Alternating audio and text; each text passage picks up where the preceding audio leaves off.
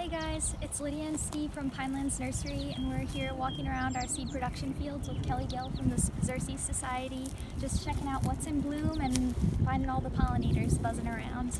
Great, so we're doing this video to celebrate National Pollinator Week and we're trying to highlight some of the best early blooming wildflowers for bees as well as the bees and other insects that are visiting the flowers here at the farm.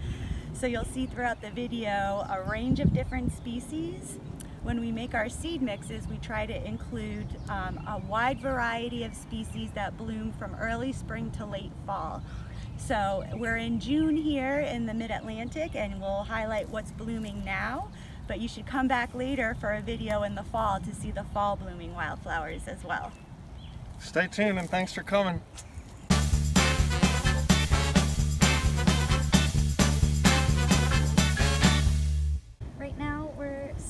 Field of digitalis.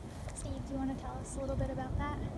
Now, penstemon is a early blooming flower. It's gorgeous, I think. And the bees, if Tommy can get a close-up on one of the bees going into one of the flowers, they crawl right up in there into the flower, and all you'll see is this little bee butt sticking out the back. And the reason the flower is designed like that is so the bee has to crawl on to slurp up the nectar and get, get all the pollen on it and increases pollination when they crawl in that flower we design our seed mixes um, for pollinator habitat restoration projects, we try to have species blooming throughout the season, so from spring to fall with overlap in between. And penstemon is a really important early season blooming plant. As you can see, it's very floriferous and it blooms at a time when a lot of other wildflowers aren't in bloom. So it's a really important component of our seed mixes here in the East.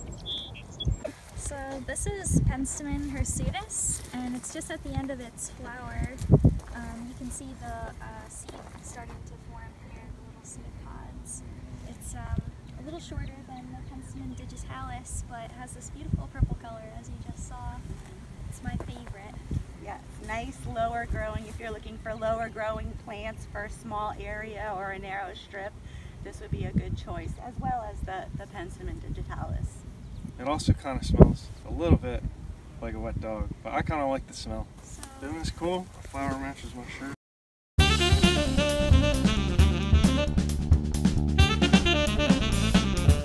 So I have a quick question while we're talking about the honeybees and the native bees. Lately I've heard there's kind of a controversy that honeybees are out competing native bees.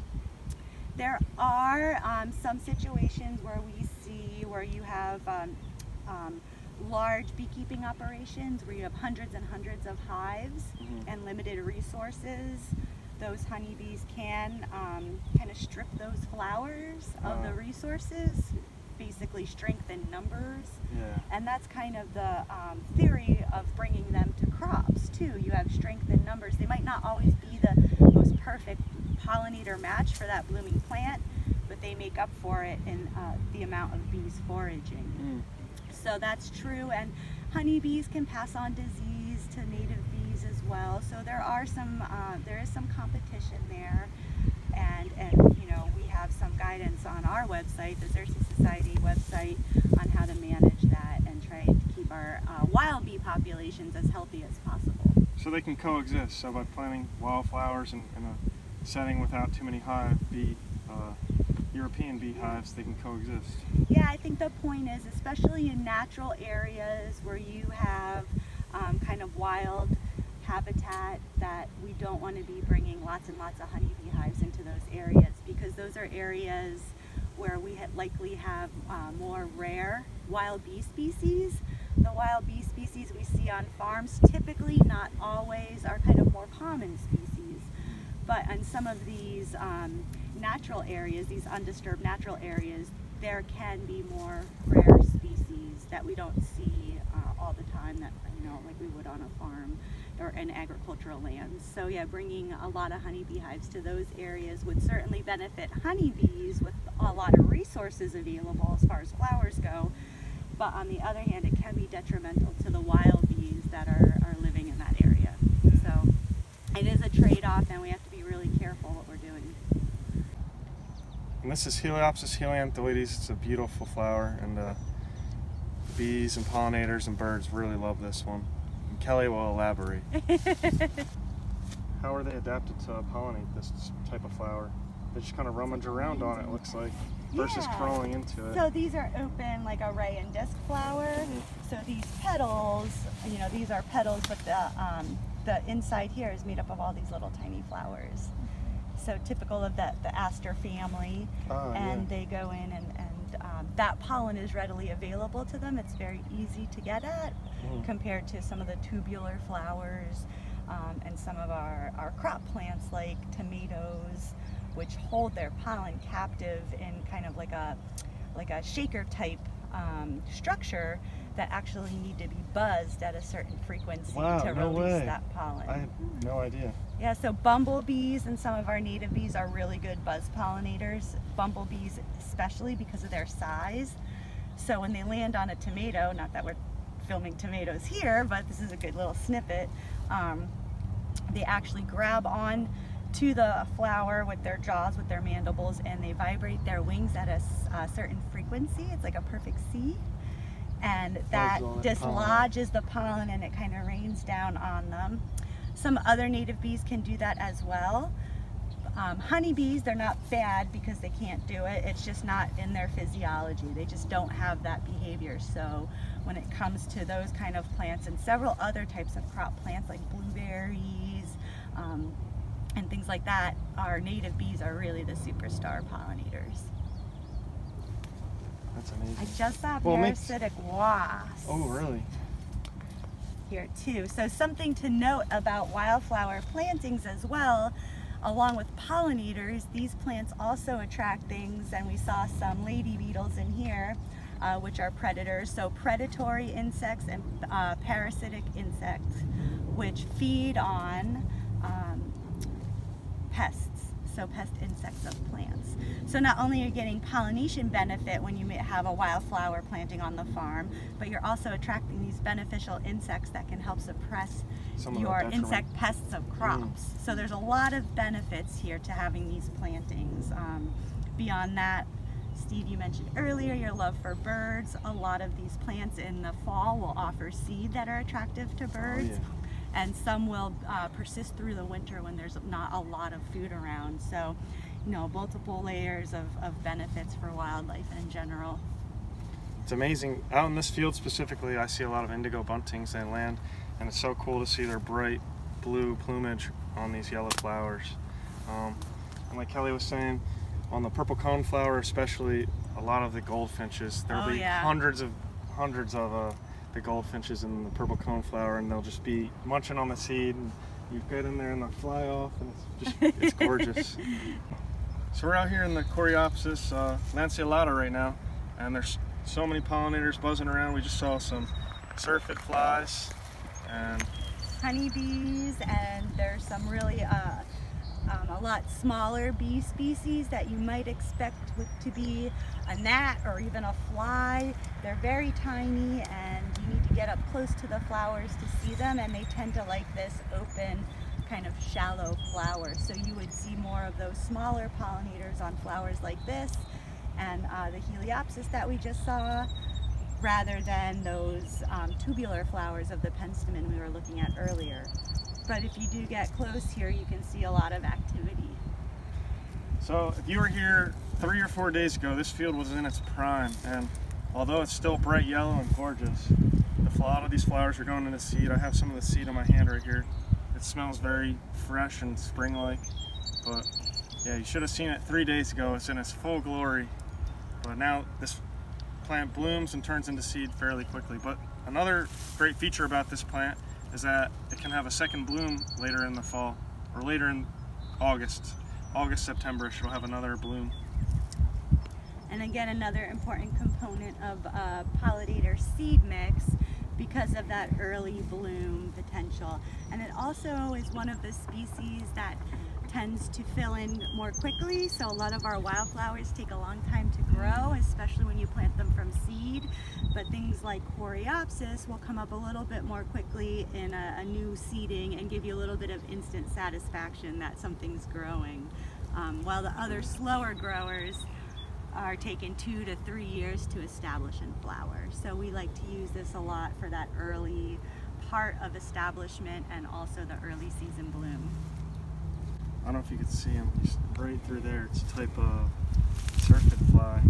Yes. Oh. Flew away. But Camera shy. so syrphid flies, real quick. I'll do a brief introduction.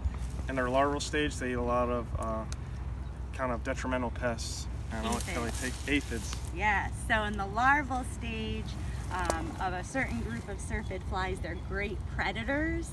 So they'll prey on crop pests, they'll prey on things like aphids and soft-bodied insects. And in the adult stage, in the winged stage, when they're flying around, they visit so many flowers that they are pretty decent pollinators and they've been used in, in uh, crop production for things like carrots and other plants that have kind of shallow um, umbel-shaped flowers. So you'll see them a lot on those type of flowers. It's easier for the adults to access the nectar there. Um, but you also see them in these types of flowers as well. And a lot of times they might look like a bee, but um, they're a fly. So they kind of mimic those yellow um, and black bands that you would see maybe on a honeybee or a bumblebee. Too. Well, we certainly give terrible names to our um, native plants. Yeah. You know, we have like um, uh, tree of heaven for the invasive Yeah. species, Yeah. and then things like Which is the Swamp worst. swamp Spiderwort. milkweed and spiderwort for our native species. So, you know, for a long time, Xerces was just saying, maybe we could just call this monarch flower. And And they- sneeze, sneezeweed and too. sneezeweed, right? Yeah. Which so, is perfect for uh, honeybees. so don't let, don't judge a plant by its name. Is the moral of that story.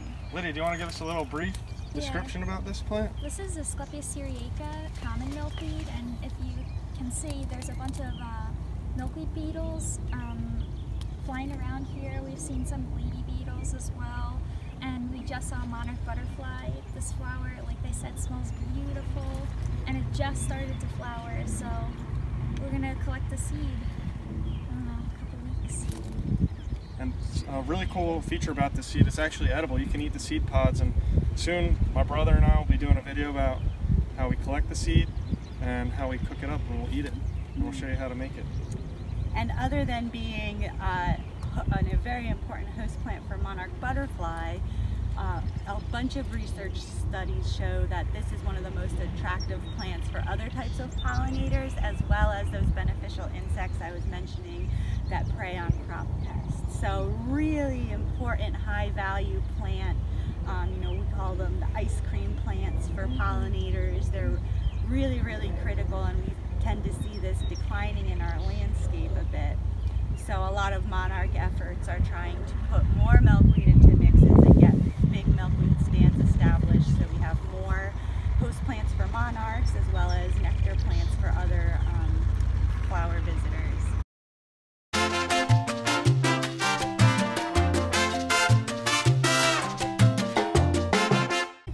Has ever pulled off a seed pod from common milkweed plants, you'll notice that there's a floss attached to the seed that helps carry it through the air. It's like a very uh, silky material. That floss has been used in several different applications over time. One of them being uh, filling for hypoallergenic pillows for people who are allergic to down. That can be a very soft, fluffy alternative. And historically, um, back in World War II, the floss from seed pods were collected to fill life jackets, life preservers. So there's a, a long history to this plant and its uses as well as its ecological value. I like how you said it's the ice cream. Ice cream plant for bees. So this is Calamagrostis canadensis, and this is a beautiful seed. Um, check it out. It grows in wet areas, and um, a lot of insects and birds will use this, and it's great to have around your pollinating uh, flowers because, like I said, insects and other species they use this habitat and cover, especially in wintertime. Yeah, most people think of our native grasses, our warm season grasses and cool season grasses um, as cover for wildlife, in particular birds and small mammals. But we do include grasses in uh, wildflower mix at a small percentage. It tends to give the planting structure, so for the very tall stemmy wildflowers that tend to kind of flop over, having grass in that planting holds them up, gives them a little something to lean on. Um, for our bunch grasses, Our bumblebees like to nest at the tuft at the bottom of that bunch grass, so sometimes those grasses will lodge a little bit and create a nice cavity protected undisturbed area for bumblebees to build nests. And we also have butterflies, grass skippers that use um, some of our grasses as their caterpillar host plant.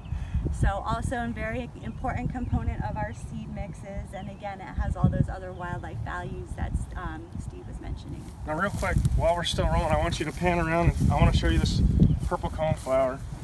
Um, if you guys find our videos interesting and you, you like them a lot, you should leave a comment and tell us how you feel about them. We'd love to do more. This flower is about to bloom and we can teach you a lot about it.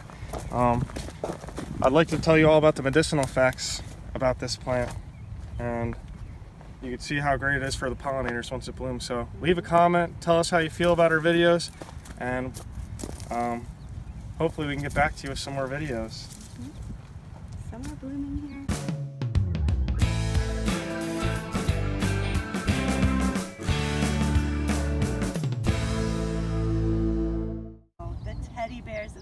Insect world, right? bumblebees. Everybody loves bumblebees.